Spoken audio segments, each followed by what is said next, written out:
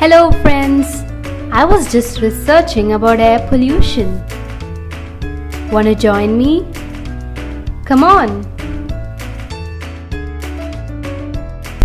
In this video, we are going to be learning what is air pollution, causes of air pollution, effects of air pollution, and how to reduce air pollution.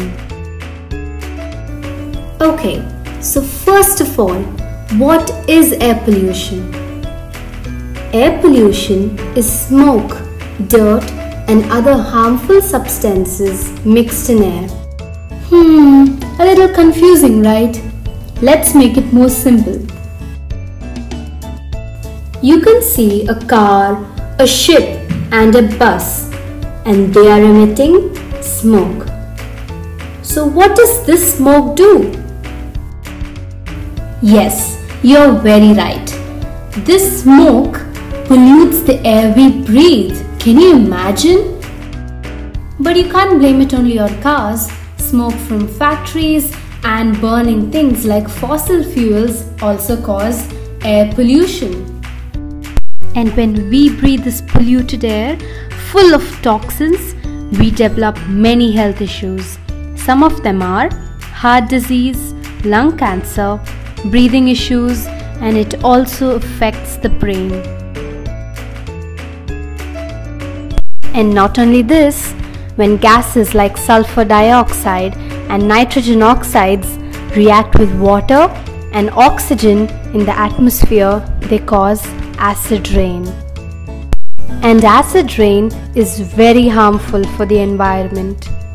Also, greenhouse gases like carbon dioxide, methane, and nitrous oxide form a blanket around the earth, and this blanket traps heat from the sun, which results in rise in temperature and climatic change known as global warming. But don't worry, we can together save Earth from the harmful effects of pollution. Let us see how. Avoid burning trash and also reduce the usage of fossil fuels like coal and petroleum. Instead of using a car, cycle, walk, or use public transport whenever possible. Turn off lights and other electrical appliances when not in use. And most importantly, plant a tree It'll help reduce air pollution.